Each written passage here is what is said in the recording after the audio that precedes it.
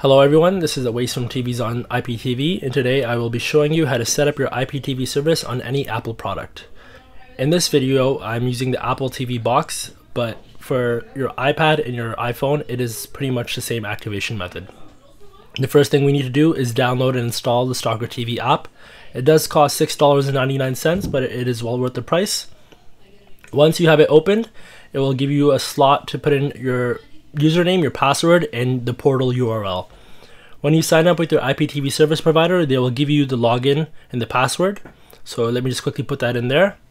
And then for the portal URL, ours is http colon forward dash forward dash tv.tvzon.tv. So once I've entered that in, I just press login. And then the TV section will give me access to all my live TV channels. The video club will have access to all the recorded movies, which we have a collection of 9,000 different movies. And that is pretty much all there is to it.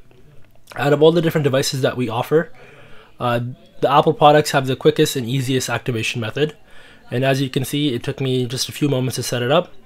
So I hope you enjoyed this video and you learned something. If you have any questions, you can send me an email at orderdesk.tvzon at gmail.com. Thank you very much and have a good day.